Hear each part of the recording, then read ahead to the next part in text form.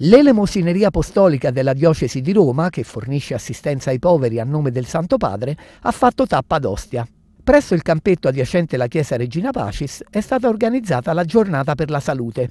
Si tratta di un servizio che l'elemosineria pratica abitualmente nell'ambulatorio Madre di Misericordia sotto il colonnato di San Pietro e che idealmente si sposta presso le parrocchie della diocesi che ne fanno richiesta. Per l'occasione è stato allestito una sorta di ambulatorio da campo, dove medici volontari hanno visitato gratuitamente persone che sono in difficoltà, fornendo loro indicazioni per le cure.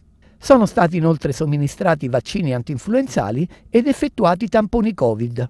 Alle persone che sono state visitate infine sono stati distribuiti anche generi alimentari e prodotti per l'igiene. Perché avete voluto ospitare questa iniziativa negli spazi della vostra parrocchia?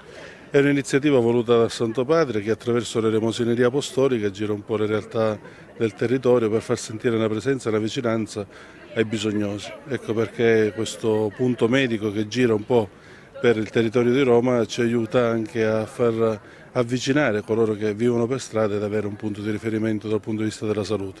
E tramite questa accoglienza adesso di oggi stiamo sviluppando un progetto come territorio di Ostia insieme all'ASL per cercare di continuare quest'opera che potrà trovare qui un punto di riferimento per tutto l'anno in modo da chi ha bisogno avere la possibilità di poter avere dei medici a disposizione per loro.